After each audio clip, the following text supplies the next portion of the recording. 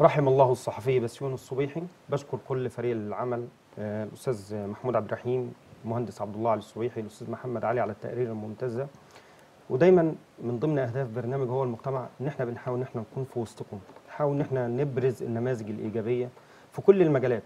عشان كده معانا نموذج برضو المهندس أنس محمد صالح. أهلا بيك يا باشمهندس أنس. أهلا بحضرتك وبرنامجك الكريم. وطبعا آه، استاذه سمر عبد الله الزميلة طبعا اللي شرفتني النهارده اللي هي بعد بقالنا ثلاث حلقات كده ما جاتش معانا. أنا خلاص بقيت معاك أهو الحمد لله. أهلا بيك يا. عمر. برحب واهلا. يا باشمهندس أنس. منورنا. الله يبارك في حضرتك. مهندس أنس عايزين بقى نعرف مجال شغلك ونركز بقى شوية على الشركة ونشوف إيه اللي أنت بتقدمه. الله يصلح لك الحال هو شغلنا طبعا شغل آه، مقاولات ومركزين شوية في في موضوع التشطيبات. شغلنا طبعا آه، كله يعتبر معظمه تشطيبات ونادرا ساعات بنبدأ طبعا من الأساسيات وكده. بناخد ال- الشغل بدون تشطيب بنكمله بقى في مراحل بقى التشطيب بقى كاملة. آه، بنبدأ طبعا عندك بدون تشطيب طبعا اللي هو بيكون بدون أي تشطيبات خالص خالص خالص نهائيا. بيكون الهيكل فقط غير الخرساني والمباني وفقط وإحنا بقى بنكمله لحد ما نوصله لنهاية التشطيب. ممكن بقى بنكمله حضرتك إن إحنا لمرحله معينة من مراحل التشطيب التشطيب طبعا بينقسم لأكتر من مرحلة. في طبعا بدايتهم التشطيب التجاري اللي هو أدنى حاجة يعتبر هو يعتبر إسكان اجتماعي. وفي بعد كده بنطلع طبعا شركة اناسكوم آه اناسكوم آه بنشتغل بشركتنا آه طبعا اناسكوم وبعد كده بنخش طبعا لمرحلة ال ال ال كل واحد طبعا وحسب الشغل بتاعه إمكانيات الشغل بتاعه اللي هو عايزه. آه، بن في طبعا بعد طب يا باشمهندس انس. إحنا عايزين نمشي مع حضرتك واحدة واحدة. اتفضل يا فندم. إمتى قررت؟ أنت شكلك سنك صغير جدا ما شاء الله. إمتى قررت وقلت أنا هقدر أعمل شركة دلوقتي؟ وإزاي بدأت؟ لأن دي هتبقى حاجة كويسة قوي الشباب ممكن يتعلموا منها. قررت يعتبر من وأنا عندي 25 سنة كده إن أنا أشتغل لحالي آه، وأنت عندك الشركات. 25 أنت عندك كام سنة دلوقتي؟ 30 طيب يا عم يعني من خمس سنين برضه. آه من خمس. سنين. فقررت إن أنا أنعزل طبعا عن الشغل ال- ال- الشركات العامة وكده وإن أشتغل لحالي. آه، شايف إن فيه آه، حاجات ممكن نقدمها أكتر آه، في الواحد لما يشتغل لوحده كده يعني هيبدع في الشغل اللي هو بتبقى مدير. نفسك. آه. بتبقى كل آه حاجة أنت اللي سيد قرار نفسك ما فيش عليك سيطرة خارجية ما فيش عليك. كده. تقدر تبدع آه. أكتر مع تقدر العملاء. تبدع أكتر آه وتطلع إنتاج أحسن وأفضل لل- لل- لل- بتمنى لك التوفيق دايما الله يحفظك يا فندم. الله يبارك إن فيك. شاء الله. ف- آه، إحنا عايزين نعرف من حضرتك إزاي بتقدر توصل العميل لمرحلة كبيرة جدا من الرضا. موضوع التشطيبات ده مش أي حد يرضى عن اللي هو شايفه. إزاي أخلي العميل راضي؟ والله هو حضرتك ال- العميل بناء على مستوى أو درجة الشغل اللي هو عايزها تمام؟ إحنا بنجيب له آه، يعني بنعرض عليه طبعا المستوى ده هيكلف كذا والمستوى ده هيكلف كل كذا المستويات. آه المستويات آه.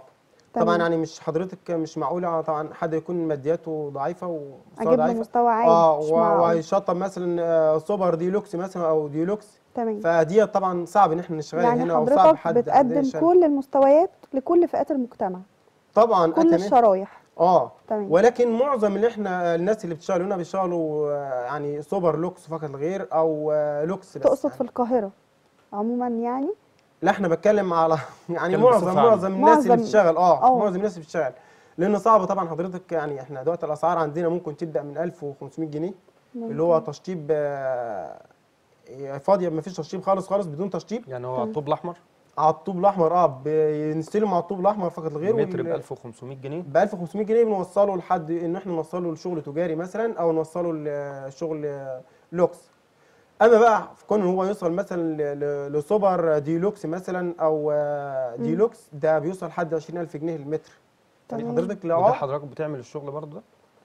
ما فيش حد طلبه مننا هنا. مفيش حد ما طبعا فيش حد هيشتغل هنا طبعا. مم. أنت حضرتك أنت متخيل يعني إيه 20000 جنيه في ال- في. المتر؟ متر آه ده يعني ال أنت 10 لو- متر ب 200000 تمام. انت لو عندك يعني شقه لو عندك شقة 200 متر واسعة حلوة على يعني كويسة جدا هتكلف لها 4 مليون تشطيب من الطوب الأحمر. يعني انت شاريها ومجهزها وهي آه. بالطوب الأحمر. فعشان كده انت هتفنشها لحد ما توصلها المستويات ديلوكس آه. آه عشان كده بنقدم كل المستويات وكل واحد هو حسب إمكانياته بقى. في ناس بتشتغل أو معظم الناس هنا بتشتغل حاجة اسمها إيه؟ آه super lux تمام. super lux ده اللي هو العام يعني معظم الناس هنا بتشتغلوا كده. طبعا في ناس آه، بتشتغل لوكس برضو. مم. يعني قليل جدا جدا جدا اللي بيشتغل لوكس.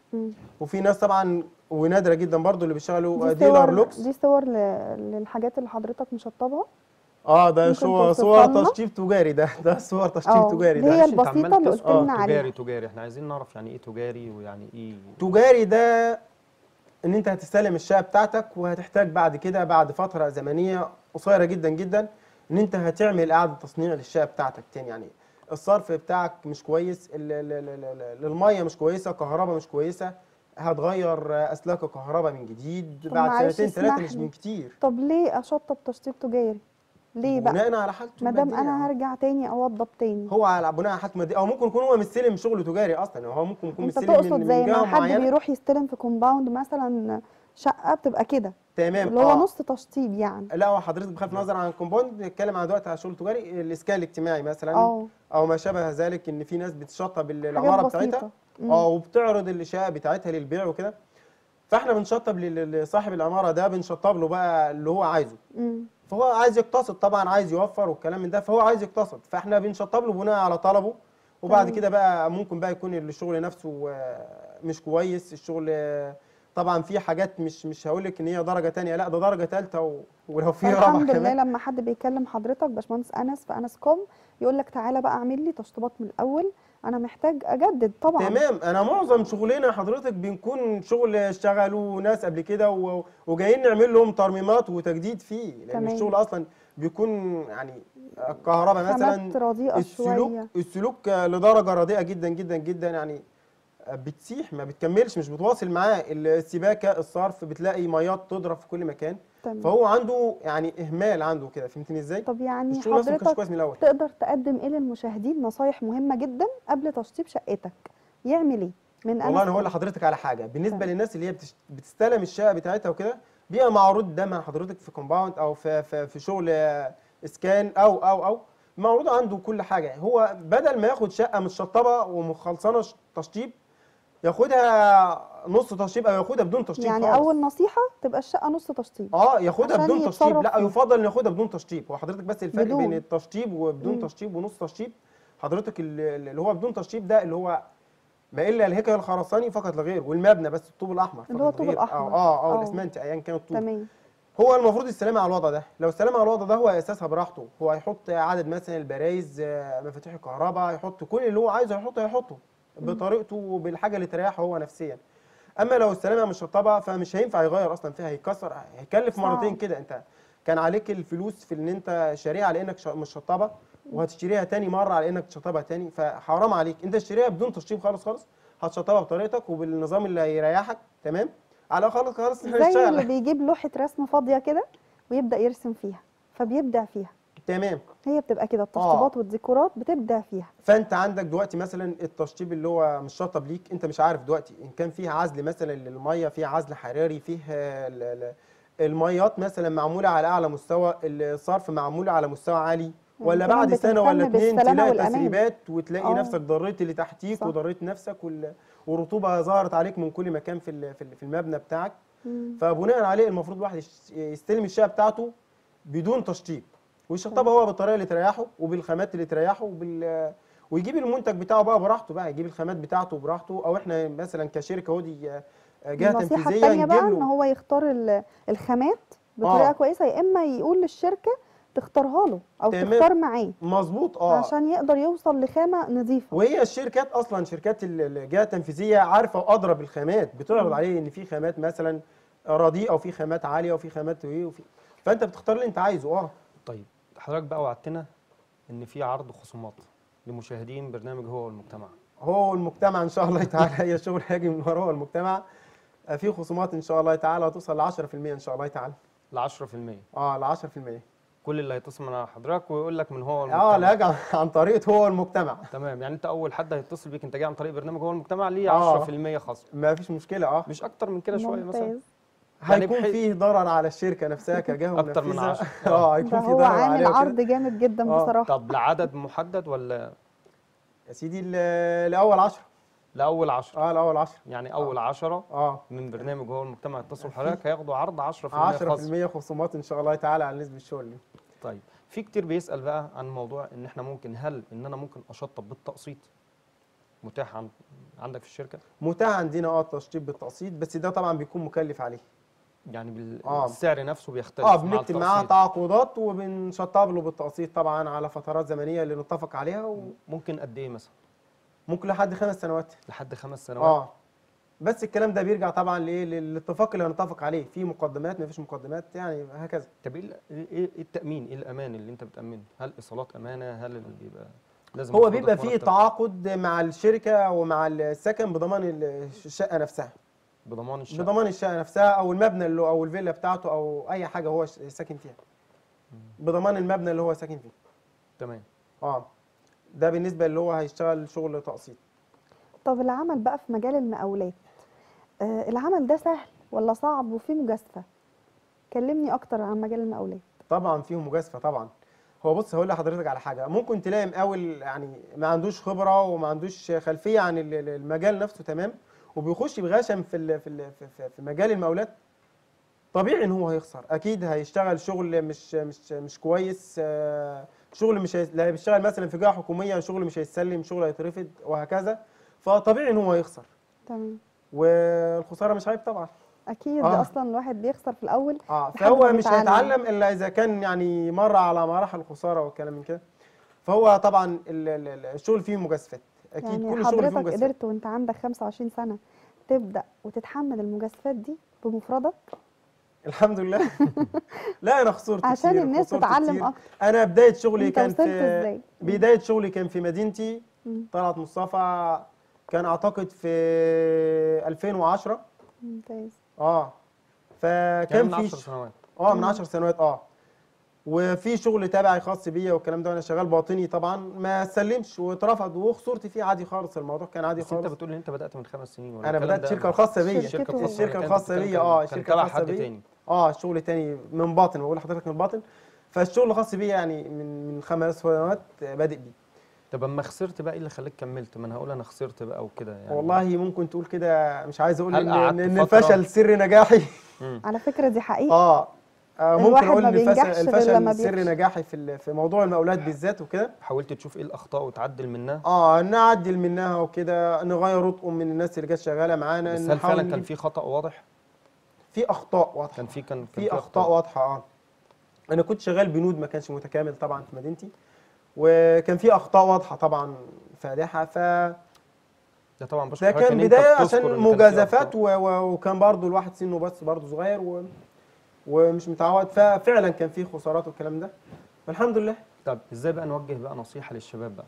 إحنا بنتكلم بقى إحنا دايما جايبين نماذج شبابية ناجحة. آه الله يصلح لك طبعا شرفنا إن حضرتك تكون معانا. قد إيه الشرف فده برضه. هدف لينا إن إحنا نحاول إن إحنا بنجيب نماذج ناجحة ونوريها للناس. آه. انت حضرتك اتعرضت لخسارة وتعرضت ان انت حطيت نفسك صاحب شركة وقدام مسؤوليه آه. إحنا دايما للأسف معظم الشباب حاليا بيتهرب من المسؤولية. يعني بيقول لا أنا أشوف وظيفة مضمونة وما أتحملش بقى الخسارة أو أتحمل ان أنا إيه اللي ممكن يحصل لي. فاحنا عايزين بقى نوجه رسالة بقى للشباب. والله هو بالنسبة للشباب اللي اللي ما خسرش مش هيكسب. اللي ما خسرش؟ اللي ما خسرش مش هيكسب. تمام. ده في المقاولات يعني. تمام. على وجه العموم اللي ما خسرش مش هيكسب خالص. يفضل طبعا إن أي حد يفكر إنه يخش في مجال المقاولات لازم يكون مفهوم في في المجال نفسه.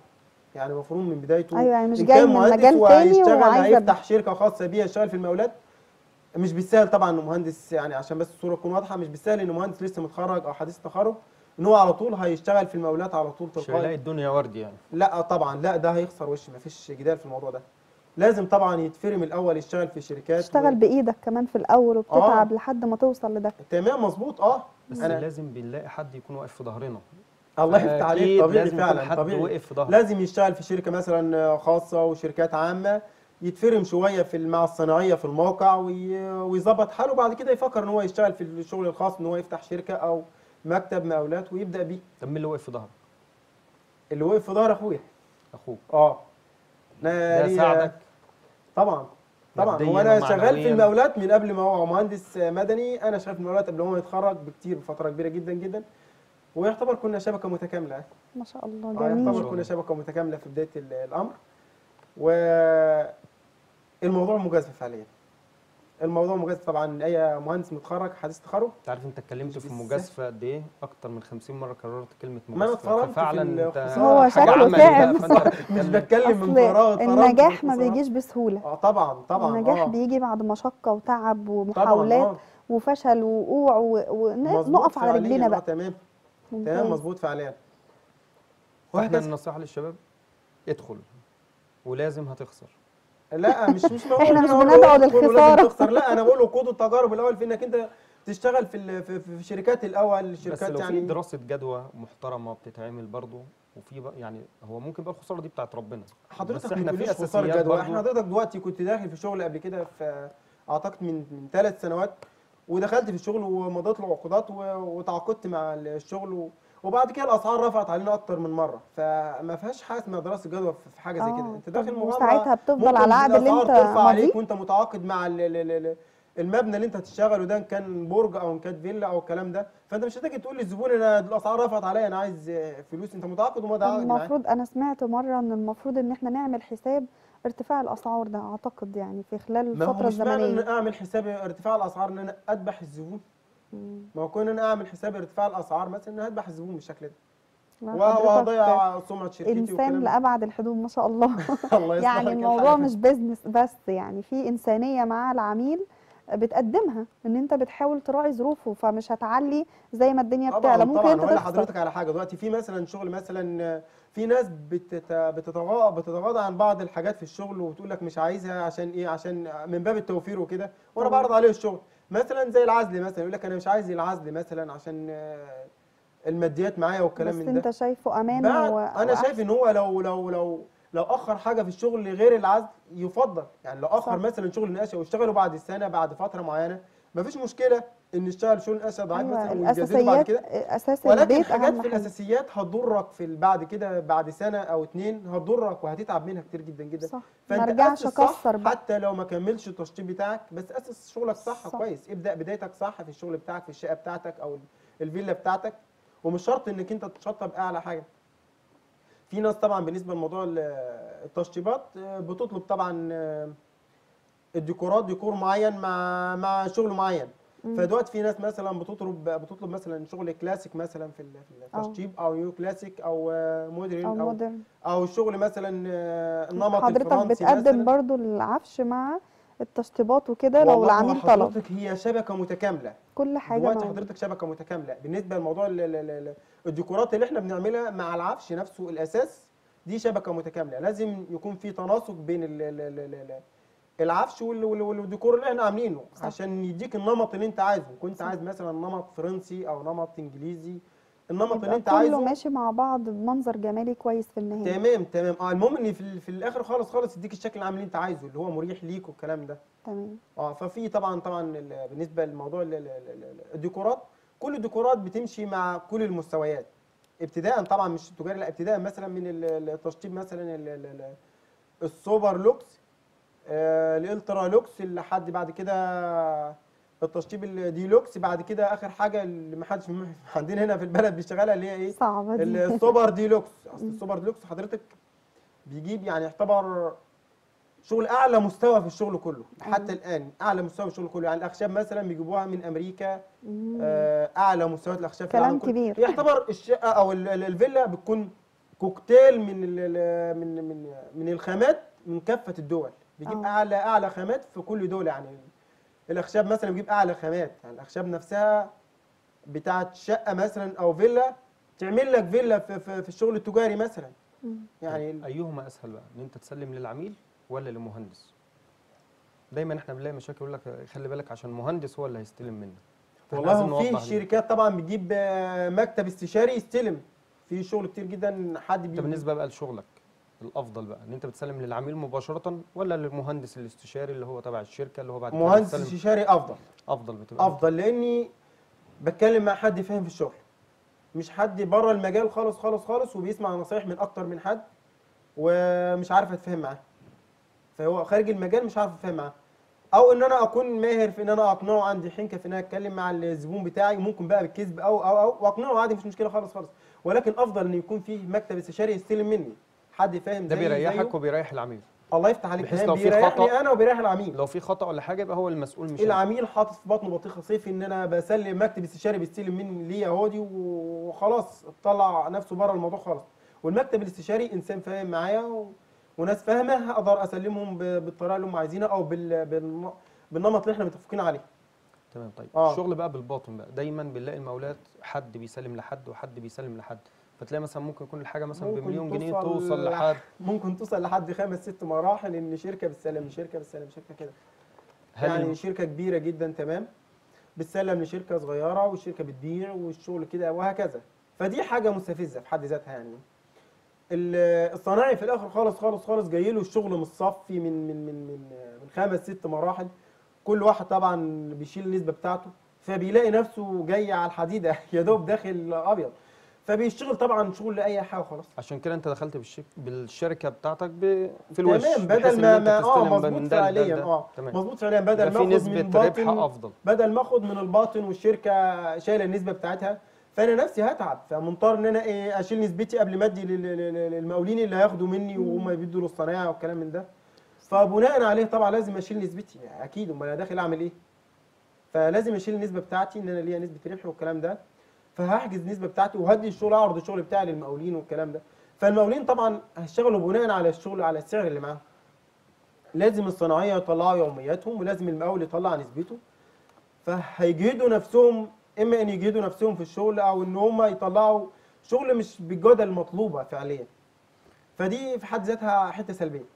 إن الشغل يتنقل لكذا حد. ست مراحل آه لكذا حد. آه مظبوط فعليا مهندس أنس محمد صالح طبعا بشكر حضرتك جدا جدا. الله يحفظك. لا ده شرف لينا وإن شاء الله بإذن الله يتكرر اللقاء مرات تانية إن شاء الله بإذن الله. ربنا يصلح الحال إن شاء الله دايما يا فندم. الله أستاذ يحفظك. يا رب. عمر نورتينا. نور بيك يا أستاذ عمر. نورتنا يا باشمهندس أنس. الله وكنا مبسوطين جدا. بالحوار معاك. وإن شاء الله انس كوم هتبقى من أكبر الشركات الموجودة في مصر في مجال المقاولات. إن شاء الله. ونتمنى إن إحنا نشوف دايما أعمالك ال- اللي بتعملها إن شاء الله. الله المستعان على خير إن شاء الله يا فندم. إن شاء الله. شكرا. شكرا جزيلا. بشكر حضراتكم آه، جزيلا على طبعا على حسن الاستماع وعلى أمل إن شاء الله بإذن الله إن إحنا في الفترة اللي جاية هو والمجتمع إن شاء الله هيكون في مكان كويس جدا في مفاجأة يعني كبيرة إن شاء الله بإذن الله هن هنقول عليها في الفترة اللي جاية لبرنامج هو والمجتمع كل ده طبعا بفضل الله اولا ثم بفضل حضراتكم جميعا. بشكر كل اللي بيدعم برنامج هو والمجتمع كفكرة. آه، بشكر كل الانتقادات اللي جات لي انتقادات معظمها إيجابية. بشكر كل اللي بيوجه لي كلمة كويسة. بشكر حضراتكم جميعا. طبعا على أمل إن شاء الله ان إحنا نلتقي بكم في حلقات أخرى. والسلام عليكم ورحمة الله وبركاته.